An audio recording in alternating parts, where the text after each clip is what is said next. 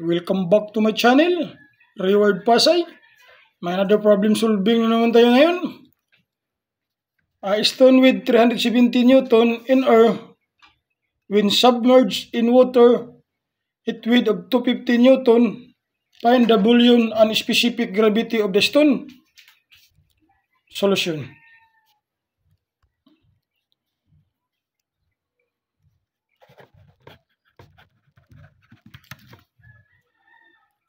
Weight of stone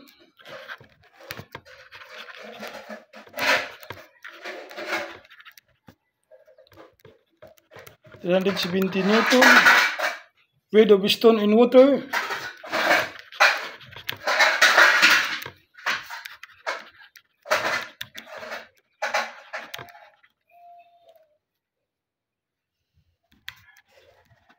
To fifty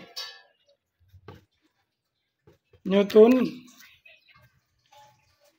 Buoyant force.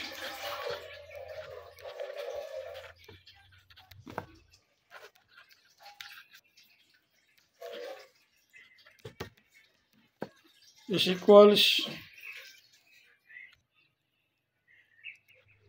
270 minus 250 is equals 120 Newton.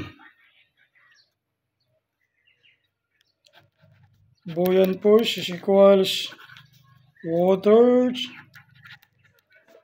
times volume of stone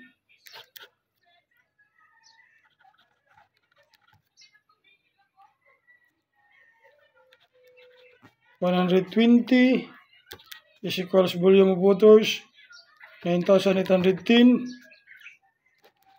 times volume of water volume of stone I mean volume of stone is equals volume of stone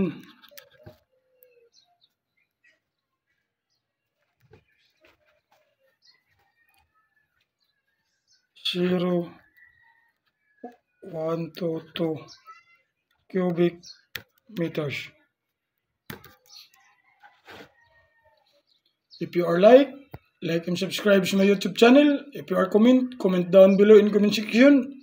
Shout out sa akong hinigma. Uy! Nagtuhaman to. Diyara ba ta? Diyara! Nagtuon! Uy! Shout out sa akong hinigugma. Murag tagtuyog o naglantaw. Volume of stone is 0.122 cubic meters. Sana nakadagdag ng kunting kalaman. Bye guys! Thank you for watching!